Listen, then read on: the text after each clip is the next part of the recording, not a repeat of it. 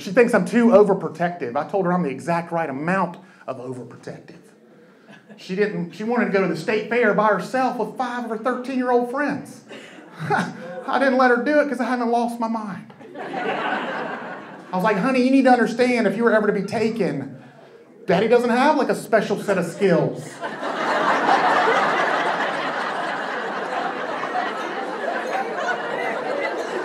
I mean, I would run after you hard for like a block, and then I would pass out in a ditch because I'm out of shape, honey. I would tweet about it. I would print a bunch of flyers.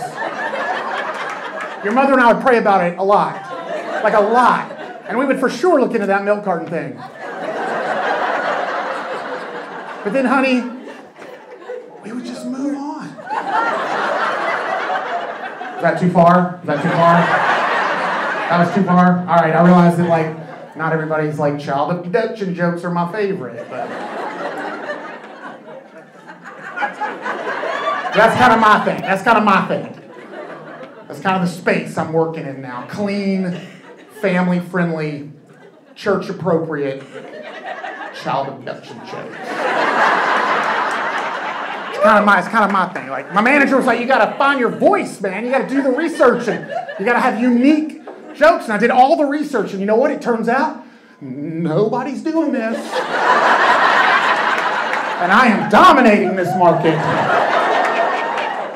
That's cool though. If you didn't like, if you didn't like that child abduction joke, if you didn't like that child abduction joke, it's cool. It's cool because I got another one. I got another one that I'll do right at the end, in case you were offended. I can get out on it.